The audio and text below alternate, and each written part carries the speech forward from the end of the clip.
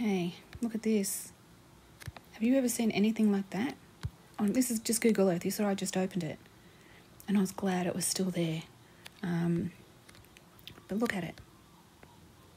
It's like folding upon itself, like a concertina.